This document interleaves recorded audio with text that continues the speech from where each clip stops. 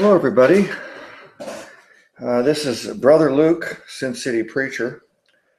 Uh, welcome to this episode of Bible Talk with Brother Luke.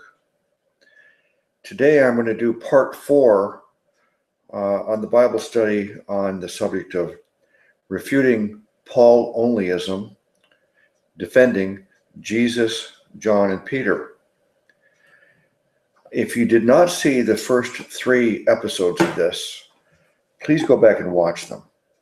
Uh, this will make a lot more sense to you if you watch it from the beginning and you'll understand why uh, I am addressing this problem, uh, why it is a problem, and uh, it'll just make a lot more sense to you if you watch it from the beginning. Now, today, I'm going to pick up where I left off. I've been comparing the teachings of the Apostle Paul with the um, teachings of Jesus. And we, we concluded that the uh, Jesus and Paul both taught easy believism. They both taught the purpose of the law was to show man the impossibility of following it. It would serve as a schoolmaster to teach us uh, we need to just ex- accept defeat and say, I can't do it. I need to be saved. And the only way to be saved is putting your faith in the Savior, Jesus. So, Paul and Jesus taught the same message. Now, let's go on and compare their teachings with others. I'm going to go into the book of John now and see what the Gospel John says because one of the things that really offends me so much about Paul onlyism is that uh, uh, I my favorite book in the entire Bible is the Gospel of John, and I quote it often. I believe I got saved as I read the Gospel of John. I've actually passed out like Bible tracts, just this small little booklet. See, just a little booklet, but all it is is the Gospel of John. I believe you can get saved by reading the Gospel of John. Most of you probably believe that. But Onlyus says, no, you can't get saved by reading the Gospel of John. You can't get saved by reading anything except the writings of Paul. So, as I've said before, even though a Paul onlyist is a is a Christian, I don't challenge their status as a Christian. They're saved. And they do believe in this principle that we're saved by grace alone, through faith alone, in Christ alone. But they add this tenet from Paul alone. They believe you can only get saved from Paul's writings. You cannot get saved from Matthew, Mark, Luke, or John, or any other books in the Bible. Can't get saved by the words of Jesus. So uh, I am really offended because uh, I'm tired of these Paul onlyists. Another word for it is hyper dispensationalism or ultra dispensationalism. But I, am really tired of them continually correcting me, and cor- you've probably been corrected too if you dared to even quote John three sixteen. They immediately want to correct you and say you can't do that. Paul didn't write that. Uh, I believe I can pass out a, a Gospel of John uh, booklet and use it, and they can be saved by reading it. So uh, I'm going to uh, now compare uh, what is written in the Gospel of John with what I did earlier in the last episode, the, the teaching of Jesus and and Paul. I already determined that Jesus and Paul both taught easy believism, and the law was only a schoolmaster to lead us to Christ.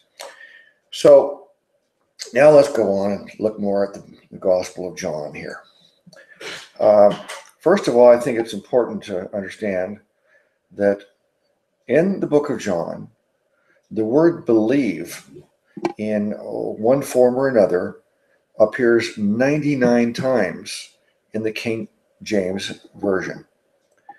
So, over and over and over again, we see in the book of John this the premise that you must believe, he that believeth, uh, the believers, so on. 99 times it says this is what is required to believe. Uh, I don't know if you're aware of this, but the, the word repent, which has been hijacked by Lordship Salvationists and uh, misused. But uh, if you think that repenting is a necessity for salvation, then I, I wonder uh, how many times in the book of John is the word repent? Because if, if believe is there 99 times and we must believe and repent, then repent should be there 99 times too. I mean, you should always say, you must repent and believe. You must repent and believe over and over again. Every time you says believe, the word repent should be right there alongside it, right? If there's a dual requirement, repent and believe. If and I'm using repent as a lordship salvationist would use it. That mean they think repent means to uh, stop sinning, change your life, clean up your life, and then you can put your faith in Jesus, uh, or change your attitude about sin, and at least make up your mind that uh, you know you're going to do your best and try to stop sinning. But so it seems to me that if that was uh, repenting of your sins was required for salvation, that it must be um, conjoined with believe. Every time we see believe, we should also see repent. So in the Gospel of John, we see believe 99 times. We see the word repent zero times in the book of John. I also, while I'm on the subject, uh, will tell you that in all of Paul's writings, he only used the word repent one time and I believe it was in Second Corinthians when he wrote them. He says, "I do not repent of what I said in my first letter to you." Uh, so the Apostle Paul never taught that you've got to repent of your sins and then then you can believe in Jesus. Uh, he only used the word, repent one time, and he was saying that he did not repent. He was not sorry. He didn't, hadn't changed his mind about sending them the first letter that was was quite harsh to the the Corinthians.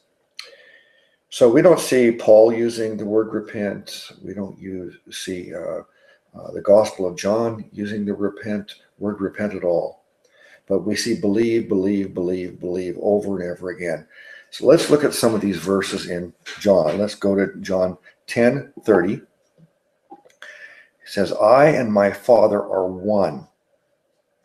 Then the Jews took up stones again to stone him.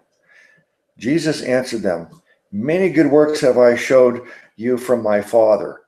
For which of those do ye stone me? The Jews answered him, saying, For a good work we stone thee not, but for blasphemy, and because that thou, being a man, makest thyself God. So if if you're a Muslim or if you're someone that just says, well, Jesus was a good man and he was a prophet and he was a great moral teacher, but you know, he was not God. He's not the Son of God.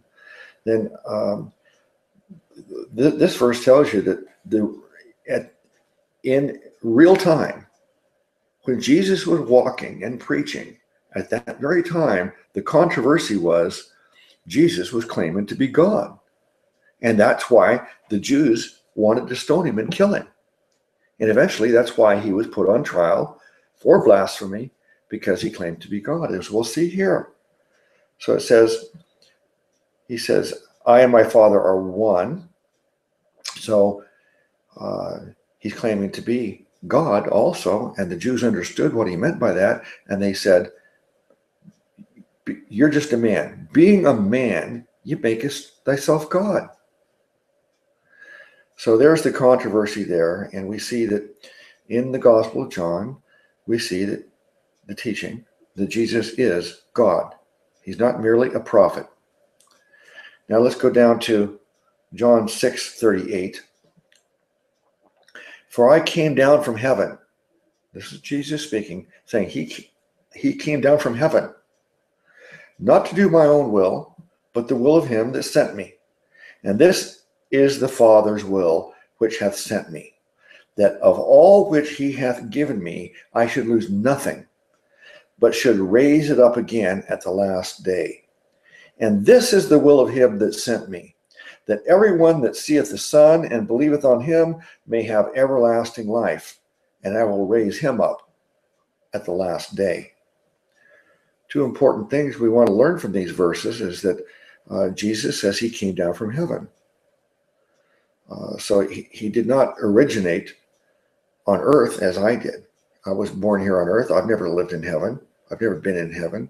He says he was in heaven and he came down from heaven to not to do mine own will, but the will of him that sent me, the will of the Father. And he said, What is the will of the Father? That uh, that uh, everyone which seeth the Son and believeth on him may have everlasting life. So we see again Jesus' claim that he came from heaven, and then also that by believing on him, you get everlasting life. So we're learning from the book of John that Jesus is God, and that by believing on him, we receive everlasting life. You're going to see here, as I proved earlier in the last um, study, that Jesus, Peter, and John are all teaching easy believism. Uh, now let's go to John 1 29. The next day John seeth Jesus coming unto him, and saith, Behold, the Lamb of God, which taketh away the sin of the world. This is John the Baptist identifying Jesus. As he sees Jesus, he points out to him and says, Behold, that's the Lamb of God, which takes away the sin of the world. The Lamb of God means that uh, he would be sacrificed. See, we are identified as the as the lamb. Know, the, the Jews' custom was to sacrifice a lamb. They had all these sacrifices uh, in place in Judaism, and everybody knew that when Jesus was identified as the Lamb of God, it means identifies him as the sacrifice. So he says, John is declaring that he is the Lamb of God. He's the one that would be sacrificed. And it says, he says, which taketh away the sin of the world. Now we go to John 12, 32. And if I, and I, this is Jesus speaking, and, and I, if I be lifted up from the earth, will draw all men unto me. This is he this, he said, signifying what death he should die. See, so the argument here is Paul onlyists say the essentials for salvation is um, uh, 1 Corinthians 15, 3 and 4. Uh, Jesus died for our sins. He was buried. He was raised from the dead on the third day. And this is what we've got to believe in for our salvation. They say this is unique to Paul. You can only learn this from Paul. And some of them not only say all uh, Paul's writings, Romans to Philemon, but some of them narrow it down even further and say only in this one verse can you be saved. So the content of the verse, the death, burial, and resurrection, the question I'm asking is, can we find this anywhere else?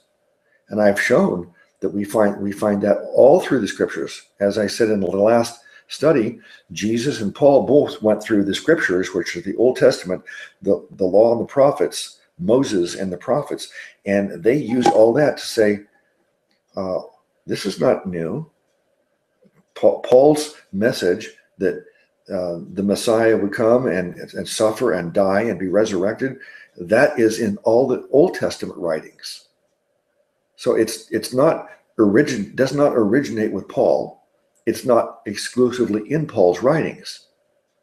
And right here, Jesus is saying that this, he said, signifying what death he should die. If I be lifted up from the earth, will draw all men unto myself.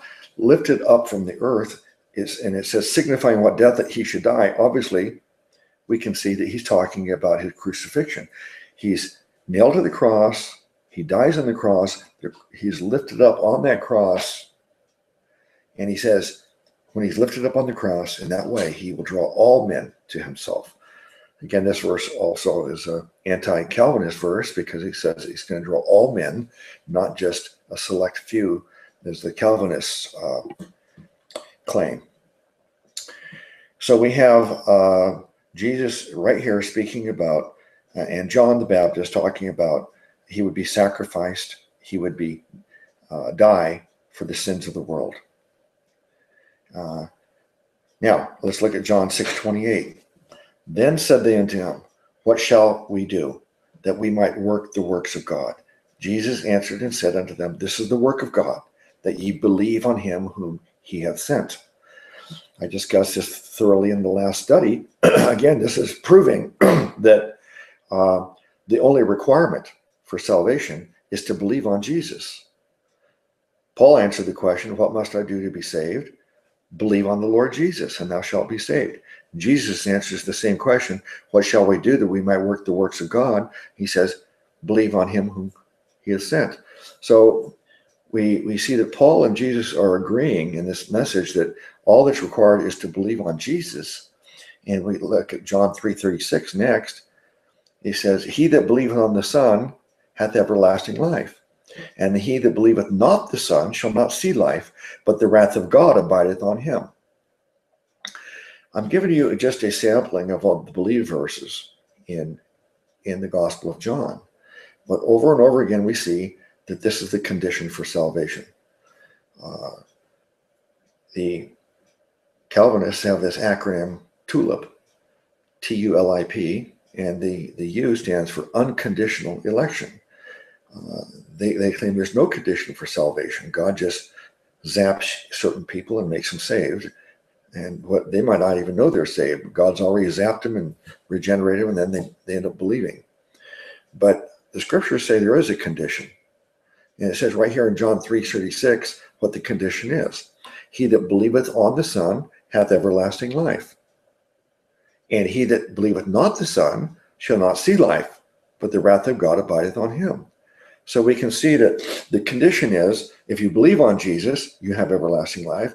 If you never put your faith in Jesus, if you never believe, then you will not see life. You won't have everlasting life. And of course, John 3 16, 17, 18. For God so loved the world that he gave his only begotten Son, that whosoever believeth, now whosoever believeth, whosoever means any person so again, this is an anti-Calvinist uh, uh, term, and whosoever believeth in him should not perish. This is showing us easy believism. That all that's required is believing. We don't see anything, any other requirement along with believe, like repenting of your sins or only, but it's easy believism. Whosoever believeth in him should not perish, but have everlasting life. For God sent not his Son into the world to condemn the world, but that the world through him might be saved. He that believeth on him is not condemned, but he that believeth not is condemned already. Again, we see here in verse 18 this contrast between who he who believes and who, who doesn't believe. That is the sole condition for salvation. He that believeth on, on him, that's Jesus, is not condemned. I believe on Jesus Christ. Therefore, I'm not condemned. But he that believeth not is condemned already. Uh, before I believed on Jesus, I was condemned. When I put my faith on Jesus, I believed on him, I'm no longer condemned. Instead, I have everlasting life. So the only condition is believing. Just as Paul said, just as Jesus said, the book of John teaches easy believism. Um, now, let's look at some other books. Uh, First John 5.20. And we know that the Son of God is come and hath given us an understanding that we may know him that is true, and we are in him that is true, even in his Son, Jesus Christ. This is the true God and eternal life. So we see in First John the teaching that Jesus is God and eternal life. uh, these are the these are the doctrines that a person uh, I believe a person uh, must understand and, and believe. These are the core doctrines of Christianity. Jesus is God. We receive eternal life by believing in Him, and because it's eternal life, it can never be lost. Otherwise, we couldn't call it eternal life. Now let's look at 1 John 2 2. And he is the propitiation for our sins, and not for ours only, but also for the sins of the whole world. Well, the propitiation means that uh, he, he, he is the full payment. Now, we know that he paid for the sins by suffering and dying on the cross. So, this verse is telling us that because he died on that cross for our sins, propitiation is, is done. Jesus, as he died on the cross, says, It is finished. Uh, the the payment of the sins for the whole world is completed. It's a satisfactory payment that the sin is debt is paid in full. Uh, and it says not for ours only, but also for the sins of the whole world.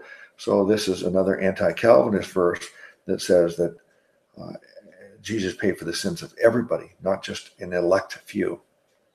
Let's look at Mark 10 45. For even the Son of Man came not to be ministered unto, but to minister and to give his life a ransom for many. So if 1 Corinthians 15, 3 and 4 says the death, burial, and resurrection is the, the essential for salvation, are we getting that from the Gospel of John? Are we getting that in First John? It says here, he's the propitiation for our sins. That's talking about his death and payment for our sins. Uh, in Mark 10:45, it says, to, "He came to give his life as a ransom." That's talking about his death for, and payment for our sins. We do not find the, the death of Jesus and the sacrificial death of Jesus only in Paul's letters. And obviously, uh, if he was if he was dead, we know that he was buried, and then you're going to see the resurrection in, in these other books too. Let's look at Mark 16 21. From that time forth began Jesus to show unto his disciples how that he must go unto Jerusalem and suffer many things of the elders and chief priests and scribes and be killed and ra- and be raised again the third day. This is Matthew. The gospel according to Matthew. If you're a Paul onlyist and you're claiming that you can't get saved in Matthew, it's only for the Jews, and well, it has the same content as Paul's writing. It has the same content as 1 Corinthians 15, 3 and 4.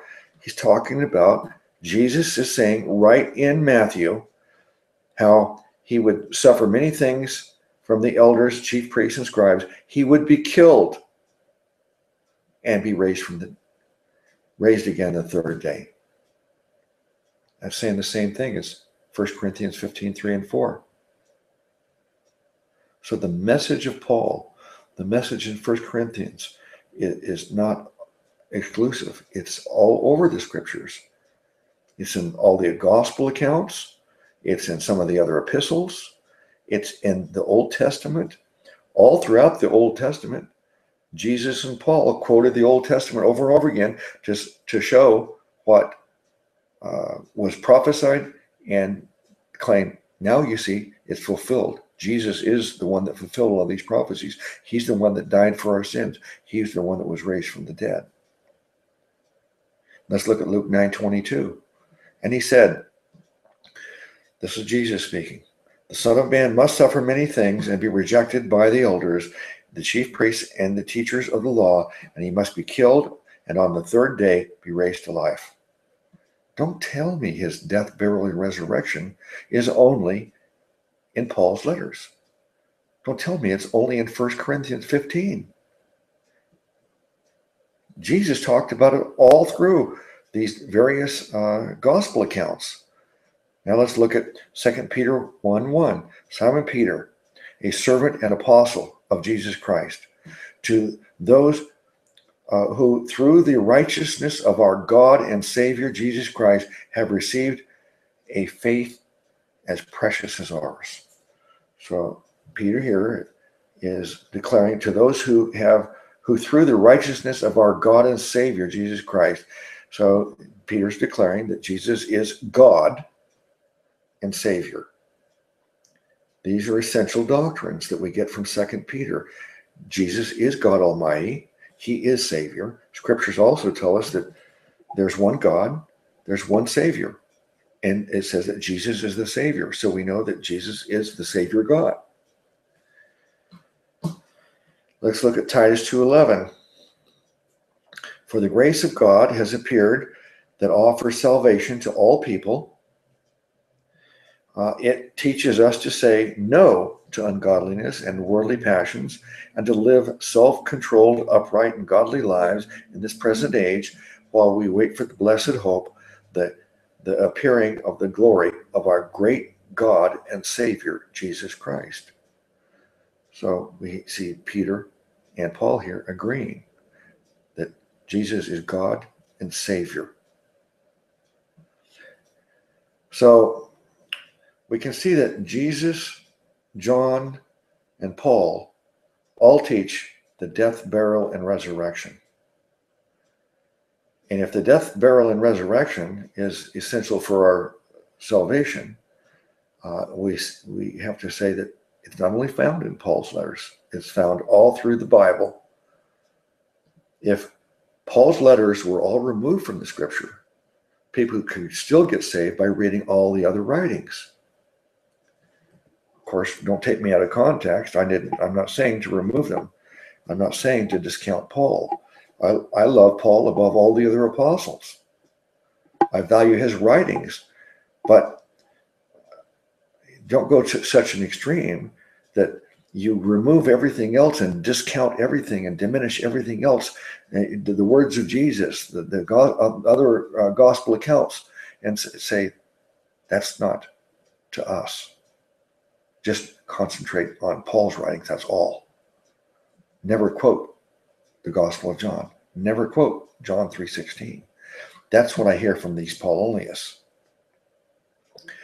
Now the question is, uh, when Jesus, when I talked uh, a lot last time about uh, how Jesus on the road to Emmaus went through the Old Testament and quoted all the scriptures that were about him, about his death, burial, and resurrection, and uh, uh and also Paul was, was a, it was his manner, it was routine that he would go into a city and find a synagogue and talk to the Jews first, and he would go through the scriptures the Old Testament, Moses and the prophets, and he would show them all the prophecies and show that Jesus fulfilled them.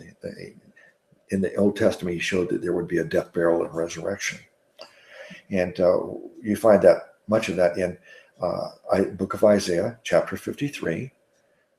I'm not going to read it now, but I urge you, if you've never read uh, Isaiah chapter 53 and Psalms chapter 22. If you've never read those, you you've really missed out. Please go and read Isaiah chapter 53, Psalm 22. These are graphic, detailed accounts. Now, Isaiah uh, was written 700 years before Jesus. There's uh, fantastic prophecies there that are so clear. So these are prophetic verses that also show us the power of the, the Bible to uh, predict the future, and which gives us confidence that this is the Word of God, because how can you predict the future that accurately unless it's through God? So uh, these are also proof texts for the uh, uh authority and truthfulness uh, of the scriptures. So Isaiah 53 and Psalm 22. Please go read those as soon as possible. Now, here's another question Are you born again? Do you believe that uh, in order to be saved, to be a Christian, to go to heaven, you must be born again? Do you believe that? Well, let's see what the scriptures say. say if, if we must be born again in order to go to heaven. Let's look at John chapter 3, verse 3.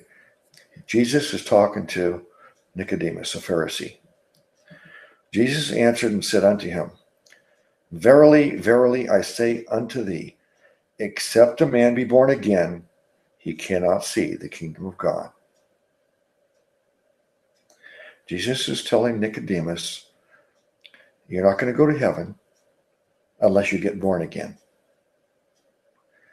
So I know that being born again uh, happens when you believe on Jesus. So everything that Paul said and everything I've discussed previously that Jesus had said and and and the other apostles when they're talking about believe believe believe the result of believing is being born again as a child of God. But what is born again? And and is it is it essential? Is it uh, can you go to heaven if you're not born again? Jesus says no. He says except. That means unless a man is born again, unless you get born again, he cannot see the kingdom of God. Unless you get born again, you're not going to heaven. So Nicodemus saith unto him, How can a man be born when he is old? Can he enter the second time into his mother's womb and be born? Sounds like a strange question, you know. I mean, no, of course. I mean, how can we go back into our mother's womb when you're a grown man and be born again? That's a, eh, but it's also, uh, I think that question there is is very helpful for us to, to understand eternal security. Uh, it's impossible to go back and get, be born again. You know, once you're born again, you're born into the world. You're you're a person, and nothing can change that. You you you, you cannot go back and be unborn, and back into your mother's womb and be unborn. And just as we're born again spiritually, we cannot go ever become unborn again spiritually. It's it's done and it cannot be reversed. Other scriptures say that it's irrevocable. So Nicodemus says, How can a man be born when he is old? Can he enter the second time into his mother's womb and be born? Jesus answered, Verily, verily, I say unto thee, except a man be born of water and of the Spirit, he cannot enter the kingdom of God. That which is born of the flesh is flesh, and that which is born of the Spirit is spirit. Marvel not that I said unto thee, Ye must be born again.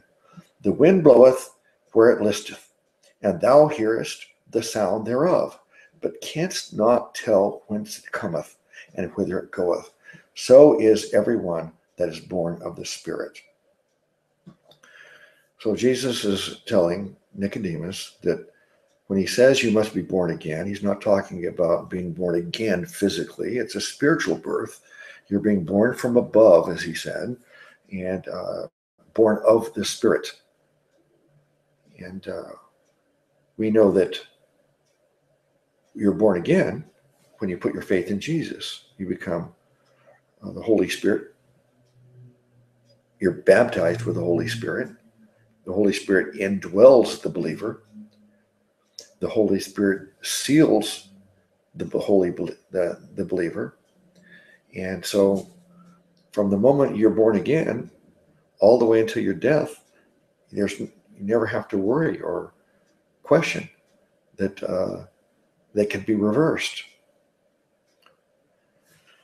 Now let's look at 1 Peter 1 3. This is the NASB version. Blessed be the God and Father of our Lord Jesus Christ, who according to his great mercy has caused us to be born again to a living hope through the resurrection of Jesus Christ from the dead. So here we have Peter uh, using the term born again. And Jesus says we must be born again. Uh, and so it says to be born again to a living hope through the resurrection of Jesus Christ from the dead. So we have in First Peter, Peter preaching, you must be born again, and that he's preaching the resurrection of Jesus. Now, obviously, Jesus couldn't be resurrected unless he died. It says right here, through the resurrection of Jesus Christ from the dead. So we've got the death, burial, and resurrection preached right here in 1 Peter 1 3. Not only the death, burial, and resurrection, but the idea of being born again, agreeing with Jesus that you must be born again. Uh, and now let's look at First Peter 123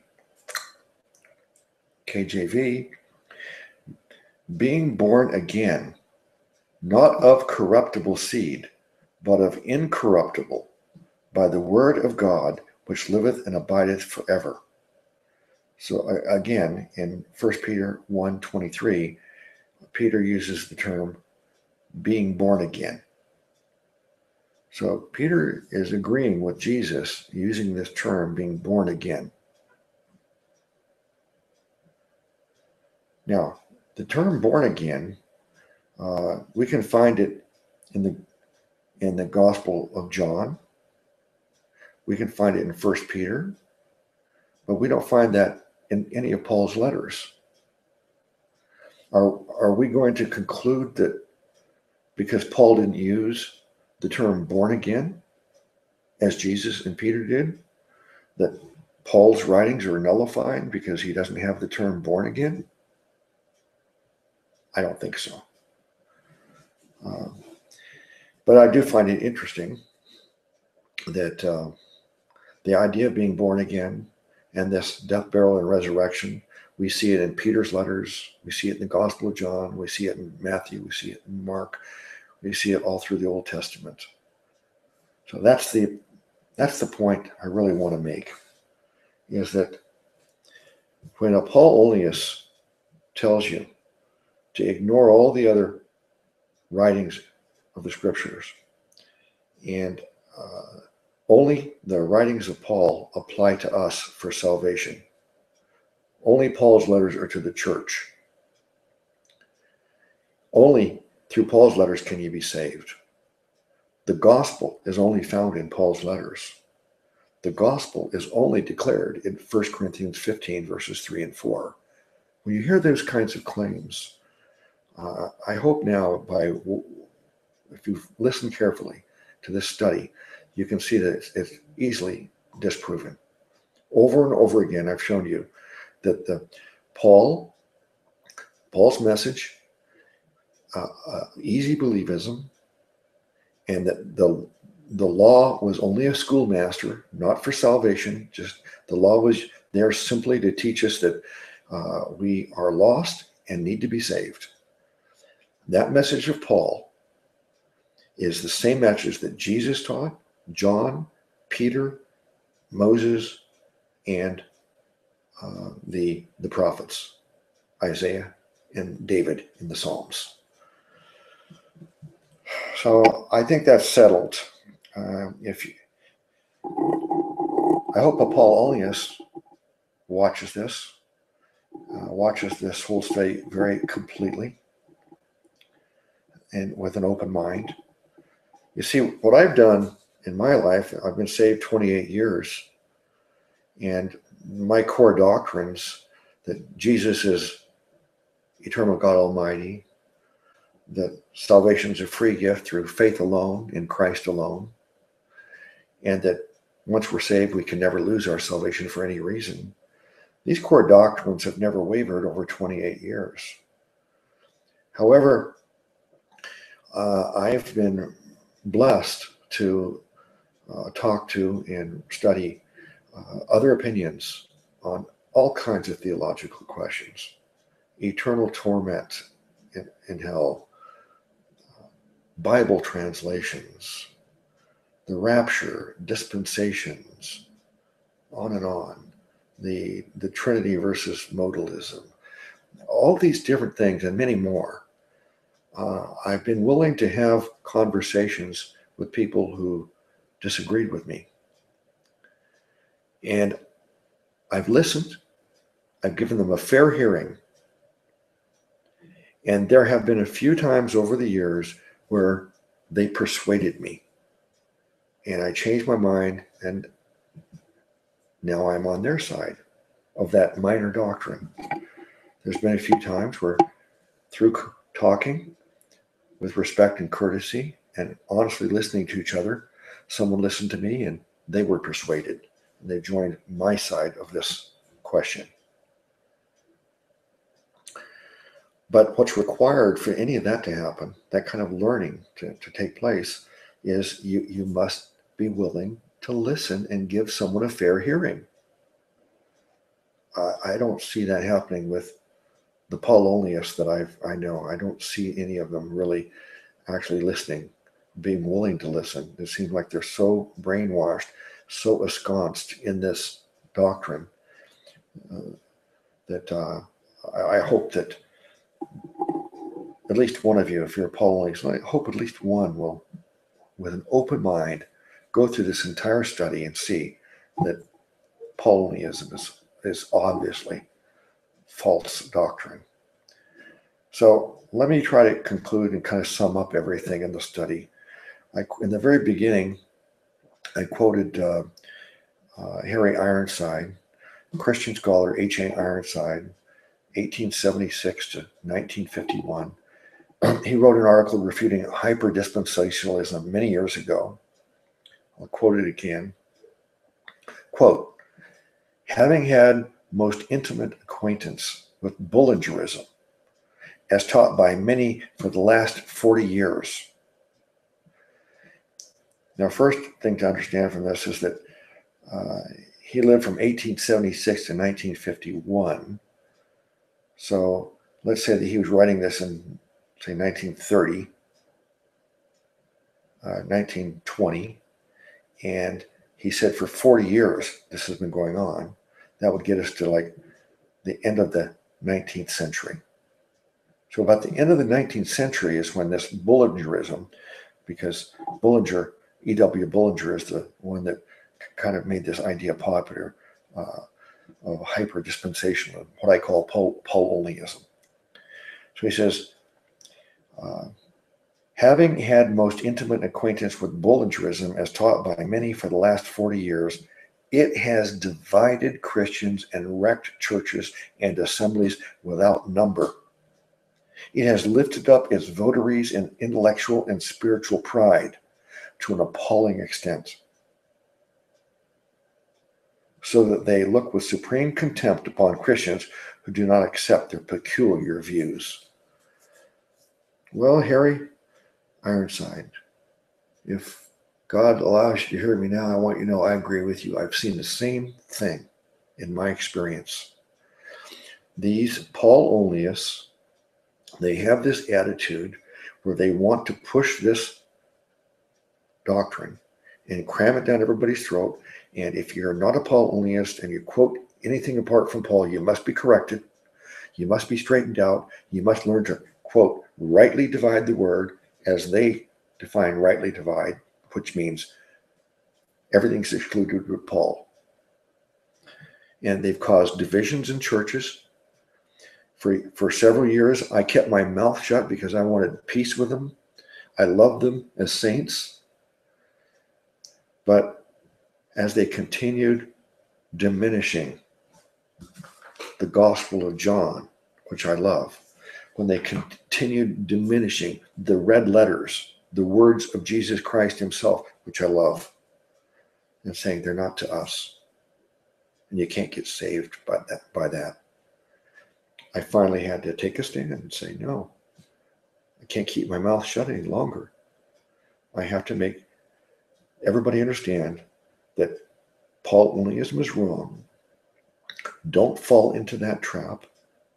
And if you're a Paul onlyist, I pray that through this teaching, you can see the light and see that it's it's crazy. And it's peculiar, as Harry Ironside said. And he says in, they have intellectual and spiritual pride to an appalling extent. And they they look with supreme contempt upon Christians who do not accept their peculiar beliefs. That's what I've seen. I've seen spiritual pride that they're the only ones that are rightly dividing and that uh, you better conform. Otherwise, you poor thing, you're just some poor ignorant person that can't understand the scriptures.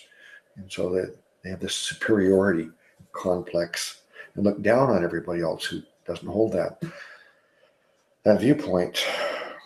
So uh, in Wikipedia, it says hyperdispensational exists in different intensities, with E.W. Bullinger, an Anglican clergyman and scholar, being the best known early expositor.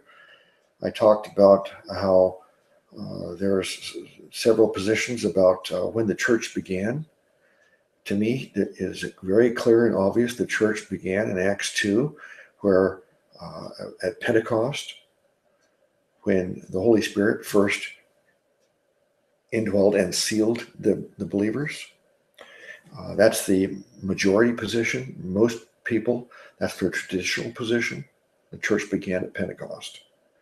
But the Paul onlyists say, no, those people were not Christians. They're not in the church. None of the apostles are in the church. Uh, and uh, the church didn't begin until the middle of Acts when Paul was on the road to Damascus and Paul got saved. And I and then some of them even take what they call ultra dispensationalist position, which is no, the church didn't even begin until Acts 28 when Paul was in prison, and because Paul wasn't even teaching the right thing until he was in prison at the end. And then he got this revelation and he started teaching the true message. Uh, so no, the church began at Pentecost. It didn't believe, began at uh, Paul's conversion. It didn't believe, began later on when Paul was in prison. In Galatians 1.13 says, For ye have heard of my conversation in time past in the Jews' religion, how that beyond measure I persecuted the church of God and wasted it. So right here in this verse, we can see Paul saying that uh, when he was persecuting the church before he ever got saved, when he was a, uh, a Pharisee, and when he was given the task of finding all these uh, believers in Jesus and persecuting them, he calls them, I persecuted the church of God. So Paul declares right there that the church existed even when he was a Jewish uh, Pharisee. The church already existed. He also says in Romans 16 7, Salute Andronicus and Junia, my kinsmen and fellow prisoners who are of note among the apostles. So he refers to them as apostles. And but most importantly, he says, who were who also were in Christ before me. So he's saying that Andronicus and Junia, they were in Christ before him. So Paul right there is declaring that there were people who were in Christ, Christians, the church, part of the church before Paul. Paul onlyists, open up your eyes. If you think Paul was the beginning of the church, he was the first member of the church, that's crazy. Even Paul is, stating in these two verses here that the church existed before he, he, he joined it when they talk about rightly dividing, I showed in the the uh, the, the, Greek uh, definition of it is really is it says accurately handling. The the Paul onlyists are all King James onlyists. Now, not every King James onlyist is a Paul onlyist, but I do believe all Paul onlyists are King James onlyists. And one of the reasons for that is this verse about rightly dividing the word of God. And when it, but the translation on that uh, in, in King James says rightly dividing, but the Greek says accurately handling, accurately explaining. And as Brother Sebastian Dresden suggested to me, instead of thinking in terms of dividing the scriptures, it makes more sense to think in terms of rightly uniting the scriptures, as I've been, as I've done in this whole study, showing you the unity, the continuity of the scriptures, showing you the, the bloody trail of Jesus. I have a, a playlist called The Bloody Trail, and I show all through from the Genesis all the way through the end of the scriptures the death, burial, and resurrection from Genesis all the way through. And showing that the scriptures are united and agree with this message of the death, burial, and resurrection of Jesus. And uh, I also showed that the only real division in the scriptures is the Old and New Testament. Uh, it's uh, for where a testament is, there must also of necessity be the death of the testator. This is Hebrews uh, verse 16. I forgot what uh, chapter it is. Uh, where a testament is, there must also be of necessity be the death of the testator. So we, we learn there that the, the, the, the testament, the Old Testament and the New Testament, the dividing point is the death of the testator, Jesus. So at the cross is where the Old Testament ended and the New Testament began. Now, the church didn't begin until maybe a few weeks later when at Pentecost, God gave them the Holy Spirit. Uh, I showed in a study that Moses said that the purpose of the law, see, see, Paul onlyists and some other dispensationalists, they teach that we get saved today by grace alone, through faith alone, in Christ alone, no works. But they say that in times past, before Jesus, the times of the law, and even times before that, they, they had to get saved through works. But I showed that Moses said the works were not for salvation. The, the works, following the commandments and doing works, the purpose of it was to prosper and be kept alive. So, nowhere in the scriptures does it teach that through works we get saved. Uh, I also showed that Jesus said that it's impossible to get saved through works. I showed that Paul said it's impossible to get saved through works. That the law was only a schoolmaster to show us our sinfulness, so we understand we need to be saved. Let's look at Hebrews 11, 3, verse 3. How that by revelation he made known unto me the mystery. Now, this is another thing that Paul onlyists liked to uh, claim for Paul exclusively that Paul had this mystery, no one else had it, and that the mystery was you didn't have to get saved by works anymore. Now you get saved by grace. So this is the age of grace. But they're wrong. Grace has existed from Adam to the present time. It's always been by grace alone, through faith alone. The mystery is not that, oh, now we don't have to work for salvation. It's a free gift. That's not the mystery that Paul learned. As he says here in Hebrews 11, he says, As I wrote afore in few words, whereby when ye read, ye may understand my knowledge in the mystery of Christ which in other ages was not made known unto the sons of men, as it is now revealed unto his holy apostles. First of all, he says holy apostles and prophets. Uh, so the other apostles understood this mystery too. He, sa- he says right here, as it is now revealed unto his holy apostles and prophets by the Spirit.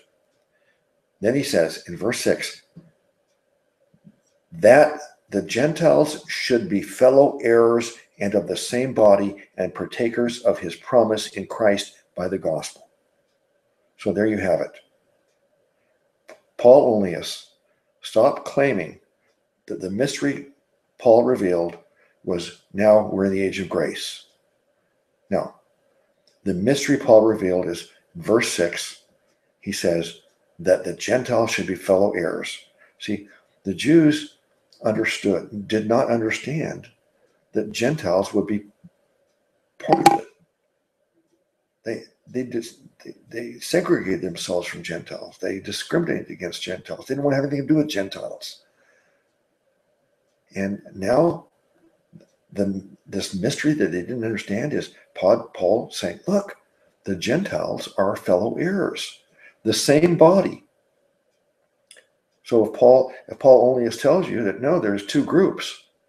There's the church, and then the, the gospel of the kingdom that's just for the Jews. It's wrong. Paul says, no, we're the same body, partakers of his promise in Christ by the gospel. So the gospel of grace, the gospel of the kingdom, the same gospel, as I proved earlier in the study. Luke 17 20. And when he was demanded of the Pharisees when the kingdom of God should come, he answered them and said, The kingdom of God cometh not with observation, neither shall they say, Lo here or lo there, for behold, the kingdom of God is within you.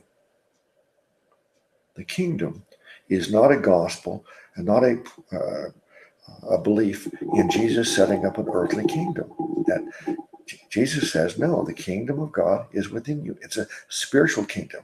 He says, uh, uh, the kingdom of God cometh not with observation. Neither shall they say, lo here or lo there. You cannot see it it's because it's not a physical thing. It's not a place. It's not a land like Israel.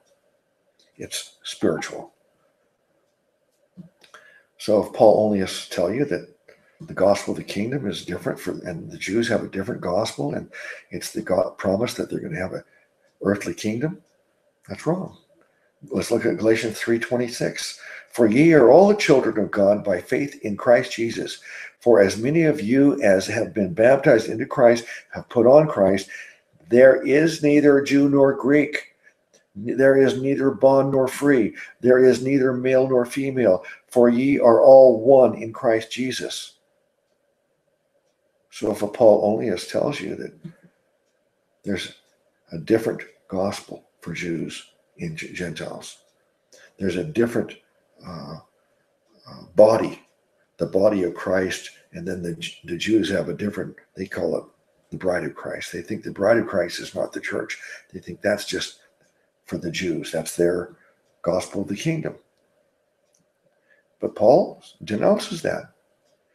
He says, There is neither Jew nor Greek. There is neither bond nor free. There is neither male nor female. Ye are all one in Christ. He couldn't be any more clear. There's only one group, not two. It's the church. Peter preached free grace to Gentiles even before Paul did, as, as I proved earlier. Acts 15 7. After there had been much debate, Peter stood up and said unto them, Brethren, you know that in the early days God made a choice among you that by my mouth the Gentiles would hear the gospel, hear the word of the gospel and believe. So I proved that not only was Paul not the only gospel, the only uh, uh, apostle to the Gentiles, but he was not even the first.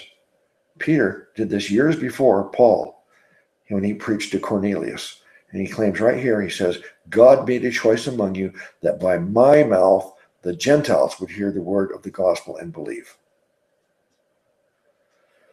So, in fact, it's not just Paul and Peter preached to the Gentiles. I proved that all the apostles were apostles to the Gentiles. Uh, I proved that Paul taught easy believism and the law was our schoolmaster. I proved that Jesus taught easy believism and the law was our impossible. It was there only to show us our sinfulness and our needs for salvation. I showed, I proved that the book of John taught easy believism. Uh, Jesus, John, and Paul all teach the death, burial, and resurrection. And being born again verses are only found in John and First Peter, not in Paul's letters. So that's the conclusion of this study. And I started uh, by saying in each one of these sessions, all four of them, that if you're a Paul onlyist, you're you're you're not my enemy. I'm not calling Paul onlyists a cult. I'm not calling them unsaved. Uh, I'm saying you're saved. You believe in easy believism. You believe Jesus is God Almighty. You believe we're saved uh, by faith alone in Christ alone. You believe in his death, burial, and resurrection. You believe all the things I believe. But you believe you can only learn it from Paul. And I've proven you wrong completely. All right. I look forward to all your comments. And so if you have put your faith in Jesus completely, if you do not put your have not put your faith in yourself trying to work your way to heaven, if you've rejected that idea and understand that the only way to have eternal life in heaven is to put your faith completely on Jesus and no longer believe in your own ability to follow religion. If you've done that, if you believe on Jesus, then I call you brother, sister, saint. And uh, I hope that now you can also learn to rest because Jesus promised you eternal life and he is faithful. God does not lie. So you can be confident and rest in the knowledge and security that you have eternal life. Bless you all in the name of our great Savior God. His name is Jesus Christ.